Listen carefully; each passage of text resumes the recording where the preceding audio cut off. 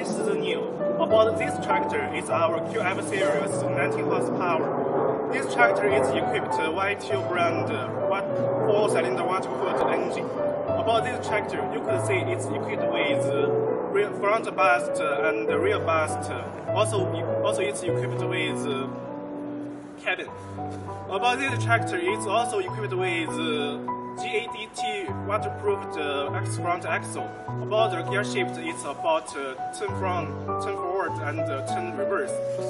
So if you want to know more information, please contact me.